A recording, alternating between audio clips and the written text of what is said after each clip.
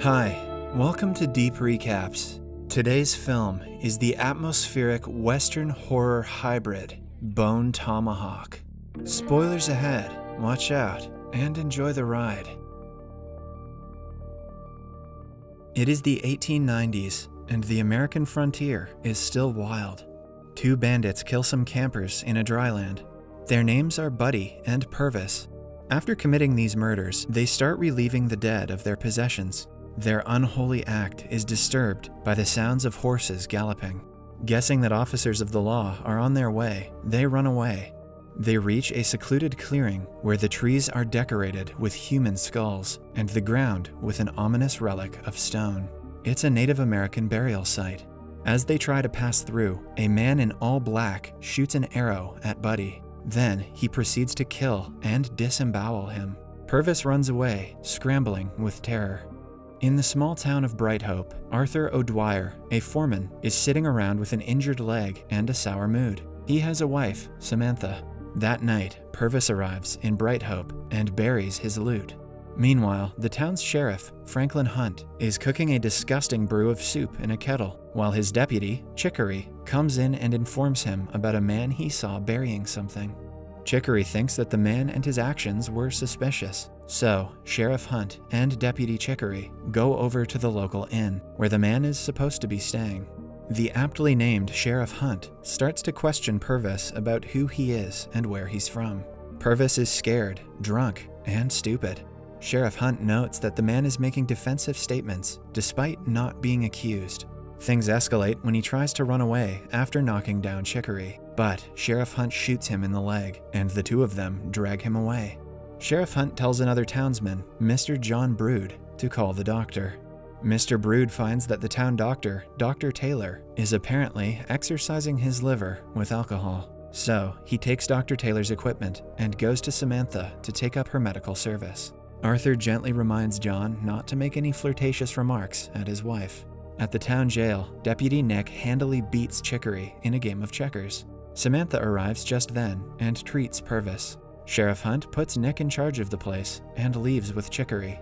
After Sheriff Hunt leaves, Arthur reads a love letter that he once wrote for Samantha. This is about as sexy as things get in the Old West. Elsewhere, Buford, the stable boy, hears the horses fretting around, so he goes to check, and, as some of you might have seen coming, he is killed. The next morning, Clarence, the innkeeper, goes to Sheriff Hunt to inform him of Buford's murder. But the bad news doesn't stop there. He also says that no one is in the jail, not even Purvis, the prisoner. So, the two of them, along with Chicory, go to check.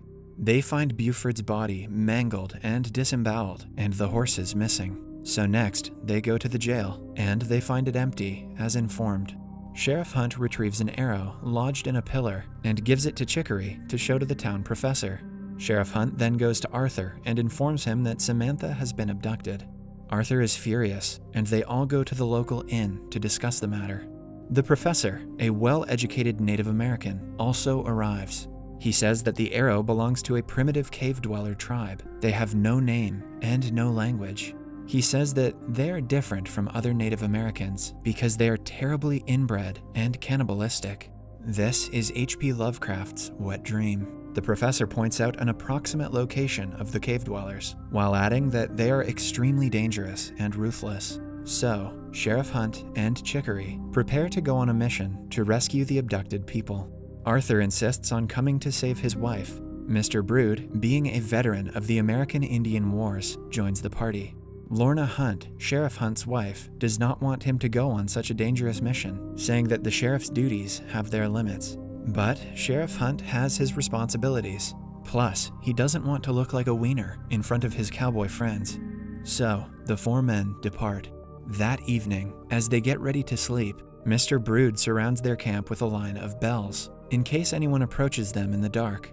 As they sit down to eat, Arthur starts crying in remembrance of his missing wife. That night, an animal crosses the bells, and Mr. Brood is the first to pull the trigger on it. Mr. Brood is a stone cold son of a bitch. They continue their ride the next day. Arthur is struggling with the pain of his wounded leg, so he dresses it with some alcohol. Alcohol dresses everything. Sheriff Hunt realizes that Arthur is carrying opium. Ooh, even better. so he and Chicory demand it from Arthur, as using it will cause his mind and body to go dull. So, Arthur gives up the bottle. That night, as they sit by the fire, a man comes to them.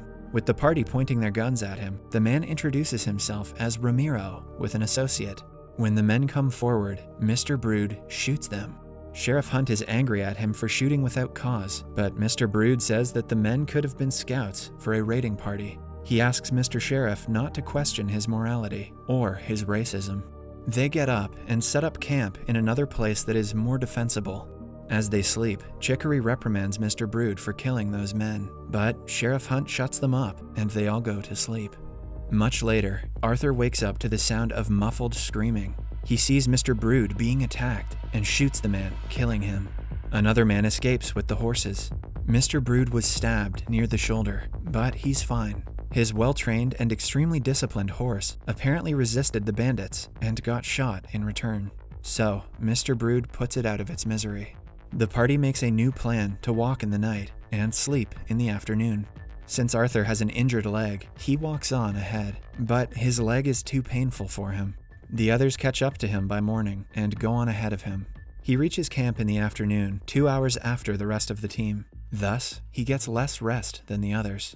At twilight, they prepare to walk again. Arthur is still struggling with his pain, so Mr. Brood mentions that when they get to the cave dwellers, he won't flirt with his wife. Arthur gets furious and punches Mr. Brood, but this hurts his leg further. Karma is a bitch for everyone today. His leg is too far injured, so Sheriff Hunt commands him to stay back and says that Arthur's leg needs to be amputated. But Arthur does not let Chicory do that and instead asks for the leg to be set. As the men go to work on his leg, Arthur apologizes to everyone for lashing out and asks them to keep his wife safe. They feed him some opium to dull the pain. As he sleeps, they leave. That night, the three remaining men hear some eerie noises that sound like horns. So, they become paranoid. Chicory asks Mr. Brood why he hates Native Americans so much. Mr. Brood reveals that his mother and sisters were killed by Native Americans when he was just 10 years old and that left a lasting impression on him. The men find horse tracks and recognize a distinct hoof pattern from the ones stolen from their town. They follow it to a secluded and narrow path. Mr. Brood goes in first, with Sheriff Hunt and Chicory following close behind.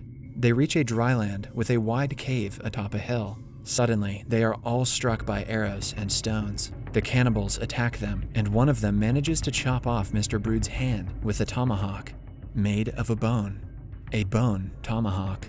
Chicory and the sheriff quickly shoot them dead. Mr. Brood does not want to live as a cripple, and he does not want to learn to touch himself with his other hand, so he asks for his rifle and dynamite to take as many of them with him as he can. Respecting his wish to die a noble death, and because they're happy to be rid of this goon, Sheriff Hunt and Chicory leave him. Soon after, another cannibal comes and throws his tomahawk at Mr. Brood, the sound of a gunshot fills the air. Meanwhile, Sheriff Hunt and Chicory are ambushed by some more cannibals. They knock them both out and drag them away. On the way, Chicory sees that Mr. Brood is dead, with a cannibal also dead at his feet. The cannibals take Sheriff Hunt and Chicory to the cave and put them in a cell. Samantha is also there in another cell. She says that Deputy Nick is not well and Purvis was eaten. Just then, their leader comes in and takes Nick out. They strip him, while Sheriff Hunt tries to break free, but the bars are too strong. The leader of the cannibals then scalps Nick and tears him in half. Later, Samantha asks them about Arthur. Chicory says that Arthur got injured a few days back and that they have left a trail for him to follow. Hearing that her injured husband is being led to such a dangerous place, she gets angry there's a good chance Arthur could save them all, but I guess Samantha doesn't think very highly of her husband. They calm her down and ask about the cannibals there. Samantha says that there are 12 males and 2 females who are blind and crippled. With the three they killed, there are now 9 males. Sheriff Hunt reveals that they have opium. Even Samantha starts to regain some hope from this. Elsewhere, Arthur finally wakes up and follows the trail, but the pain is still too strong for him, so he takes some opium, which dulls his mind and body. So, he finds a secluded place and passes out. I guess Samantha was right about Arthur after all. At the cave, Sheriff Hunt pretends to drink the opium, and Chicory pretends to ask for it. So, three cannibals snatch it from them and drink it turn by turn. They do not like it and throw it into the fire, but they have already taken sips, and Samantha says that two of them will sleep for a long time. But that still leaves seven of them for Arthur to face, and Arthur is still high as shit too. Meanwhile, two cannibals find Arthur and attack him. They miss, and Arthur kills them both. He sees they have some sort of whistle embedded in their throat, which they are using to make an eerie sound when they scream. Arthur cuts it out and keeps it. He reaches the narrow strait and sees signs of the earlier struggle, so instead of going through the narrow path, he goes over it. Then he plays the whistle. One of the cannibals comes to him, and he kills him. He then drags himself to a height from which he sees the burial grounds of the cannibals. At the cave, the cannibals come in with one of their men, who's been knocked out by the opium. They open the cell, and Sheriff Hunt tries to fight them, but he and Chicory are easily overpowered. They cut open Sheriff Hunt's stomach and puts his whiskey flask in it. He yells in pain, but he should be thanking them. Now he doesn't have to drink that disgusting stuff. Samantha looks on helplessly, while Chicory says that he will avenge him. The leader shoots Sheriff Hunt's wrist, then takes aim at his manly jewels. But the rifle has not been reloaded, the leader works the rifle until he figures out the reload. Just then, Arthur shoots one of the cannibals outside. Sheriff Hunt tries to warn Arthur, but the leader shoots him. So, Sheriff Hunt chops off his foot, and Arthur shoots him. Then, Hunt chops off his head. Sheriff Hunt says that he won't make it and will stay back to kill the remaining three males, since they know about Bright Hope and might attack. Arthur puts the rifle in his hand. Sheriff Hunt tells Chicory to say goodbye to his wife for him. They slowly walk away, with Arthur testing the safety of the area with regular blows of the whistle. From a safe distance, they hear three gunshots ring through the air, the sound of Sheriff Hunt's last stand. Subscribe for more content like this. Turn on notifications if you'd like to be the first to see new drops, and leave a like to help the channel out. Also, I'd like to apologize to my writer and editor. I forgot how disgusting this movie was. See you next time.